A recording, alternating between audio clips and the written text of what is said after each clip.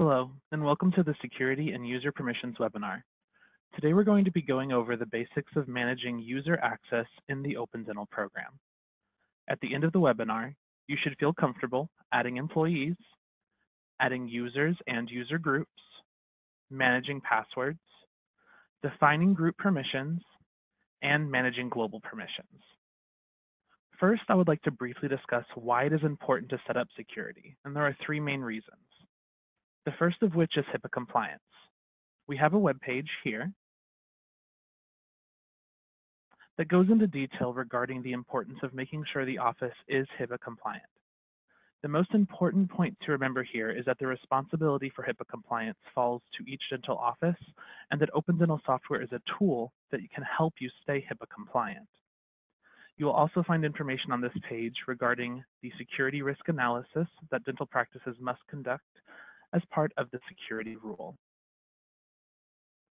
The second reason it is important to set up security is to ensure that your data is secure. There are three levels of security. The first is network security, and that's largely managed by the office and their IT. This includes firewalls, MySQL security, and the sharing of the A to Z folder. We have a web page about this as well, simply titled Computer Security. And the next level is computer security, which is the security of the computers themselves, also managed by the office and their IT. This is going to be Windows usernames and things like that. And then the final level of security is security within Open Dental, which is the focus of this webinar today. The final reason that setting up security is important is to prevent the risk of fraud and embezzlement. Through the use of users and the audit trail, actions inside of Open Dental are tracked. It is important that all employees have their own password protected user so that each audit trail log has their user attached.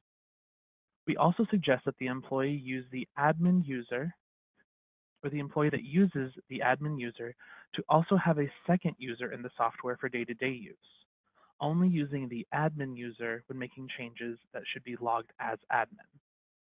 This is also important for time card security, which we'll go into a little bit more detail about later in the webinar. There are five different audit trails that track information inside of Open Dental, and we're going to very briefly touch on those. The first of which is the main audit trail. This can be found in Tools and Audit Trail. This is going to track the vast majority of permissions inside of Open Dental. You're able to filter by the permission itself, by user, set a date range, have specific patients or for all patients, You can also set limit to the number of rows returned and set more date ranges over here. You always want to make sure you're clicking refresh whenever you change anything on the screen. It's also printable. The second audit trail is an appointment audit trail. Go ahead and quickly create an appointment here. If we double click into an appointment, we can see an audit trail and you'll see when it was originally created, when it was edited, when it was moved, and again when it was edited. So this is going to track specifically permissions that relate to the appointment itself. The next is the chart audit trail located in the show tab. We'll just click this audit button right here, and then you'll see that additional lines of data have come up here, such as this invalid group note. The next is our insurance audit trail. So if we go into any insurance plan, you can check the audit trail, set dates, and check to see when that insurance plan has been changed in the past.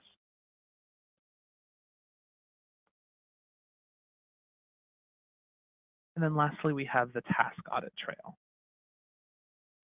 which is located within the history button on the task themselves. And that's going to show you the history of the task. Since we just created this one, it doesn't have any log data yet.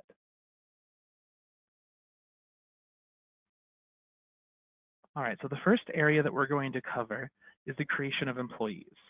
This is important for the use of time cards, and we'll discuss how to link employees to users a little bit later in the webinar.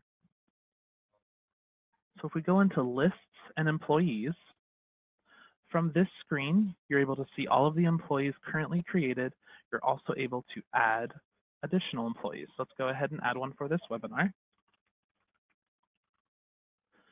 You can also add a middle initial if you would like, and then the payroll ID is only going to be used if the office is using ADP. You can also mark someone as hidden or unhidden. This is specifically going to be used if an office has an employee that no longer is there, but you still want to make sure that all that historical data is still in the software. We also have the advanced tool to delete all unused employees. This is going to be documented better in the web manual itself. Employees are really important for time card use, and we will go more in depth on how that's important in the time card webinar. It's going to be a separate webinar completely. Now we want to get into our security setup window. That's going to be in setup, security, and security settings. I want to do that one more time, and I want us to note right here this other add user button. Remember that for a little bit later, we're going to refer back to it, but for now, we're just going to go into security settings.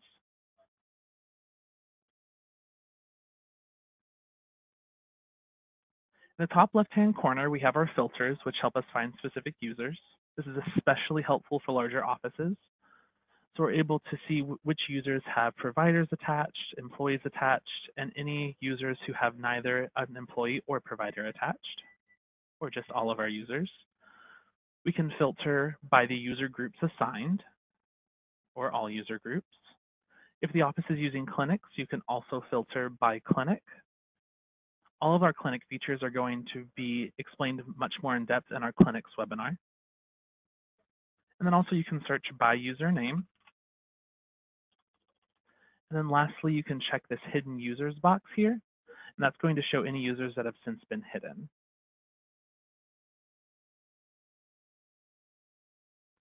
Then we have our users window here within the security settings window.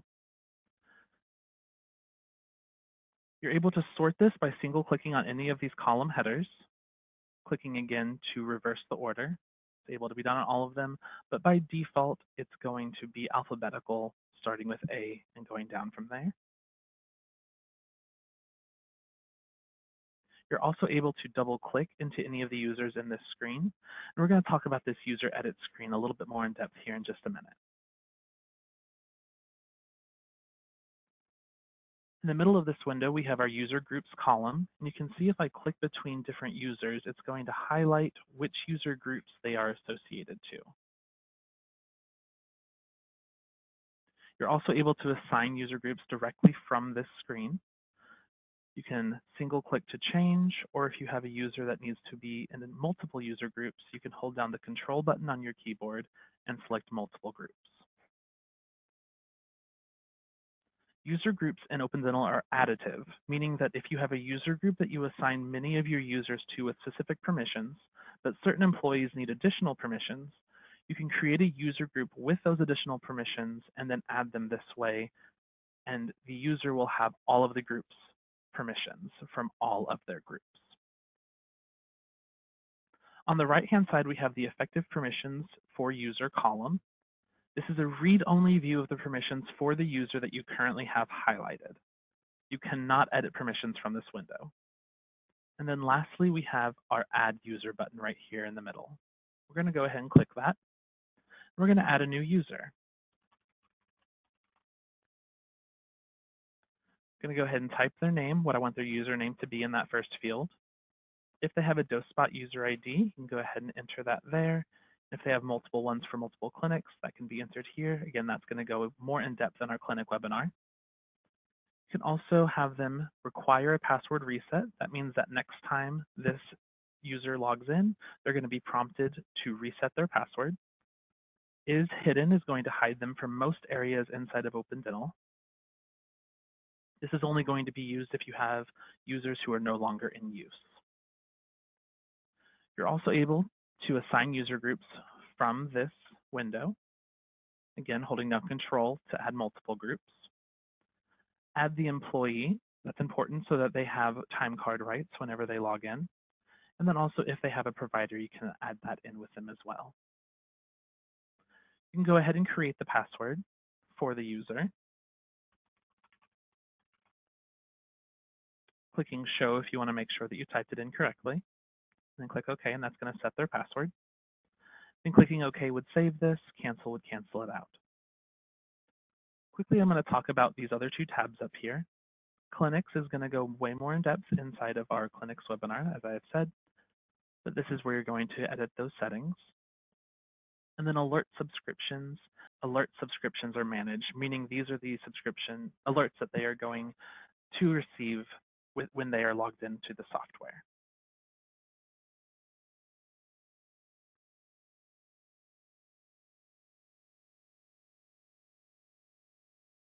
Next, we have our User Groups tab. This tab is where you will create and edit the user groups themselves. It is important to note that permissions are assigned by user group, not by user. First column we have here are all of our user groups that we've created. If you click through them, you can see that the permissions that have been assigned to them in that middle column are changing as we click through. You can also add a new group from this screen. If you ever wanted to edit the name of a group or hide a group, you could highlight it and edit. You're actually going to be able to delete from the screen. There's not a hidden feature for user groups. Then you can go through the middle window here and add the permissions for that specific group. Maybe they need appointments module and chart module for this specific group. Some of our permissions, such as the edit completed procedure full, are going to pop up this edit group permission window. By setting lock dates, you can prevent users from editing historical data or backdating new items. Lock dates can be set by user group or globally. And this is going to go in much more detail on the web manual.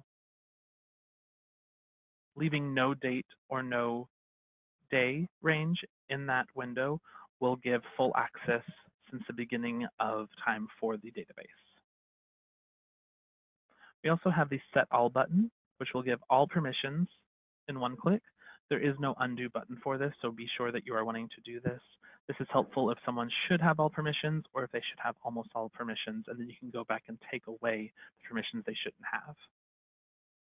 Then lastly, you have the users currently associated. So if we go through and single click on our user groups on the left-hand side, it will update with the users that currently have that user group assigned to them. The last area of the security setup window that we need to cover is the global security settings window, which can be accessed by clicking in the top left-hand corner right here.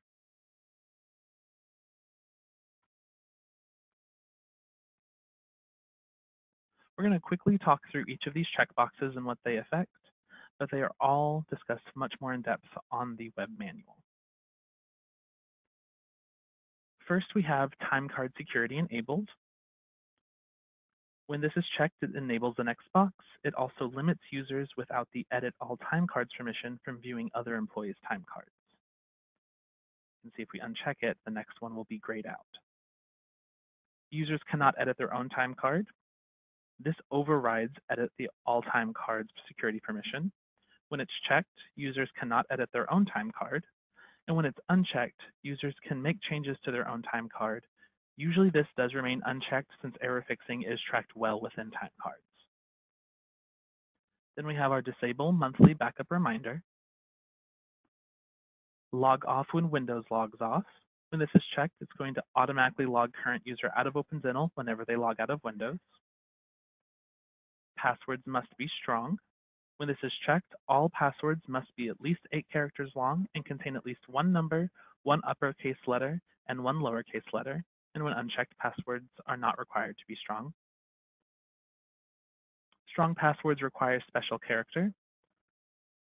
When this is checked, when passwords must be strong, they must also include a special character such as the pound sign, the dollar sign, or the exclamation point. And when it's unchecked, they are not required. Force password change if not strong. When this is checked, When passwords must be strong, users without a strong password will be prompted to create a strong password next time they log in. And when unchecked, users will not be required to change from not strong to strong, even when strong is required. And then last of the checkboxes here, manually enter login credentials. When this is checked, users will have to manually enter their username and password. When it is unchecked, users will select their username from a list and then type their password. The default user group selection is extremely important if you want to use the Add User button that we pointed to earlier. If there is no default user group set, the button has no functionality. Now we have the automatic log off time in minutes. This simply means that if a time is entered here, such as five minutes, after five minutes of inactivity, the user will automatically be logged off. Domain login is a way for users to be automatically logged in as determined by the Windows user they are logged into on the computer. It is an advanced feature, and there is more documentation regarding its use in the web manual. For global lock, global lock dates bundle multiple permissions into one setting. Global lock dates prevent editing of old items and are the only way to prevent backdating of new items. See the full list of permissions to identify which are affected by global lock dates. If you click this Change button,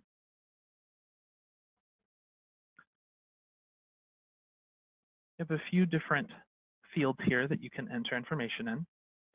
You have a lock date, and this will lock the date entered and all prior dates. Lock days, this means that changes will only be allowed within a set number of days from the original entry, such as one day, only today, zero to disable. And then lock includes administrators. Check this box to include users in the admin group from this limitation. Unchecked means that they will have full permissions with no locked dates.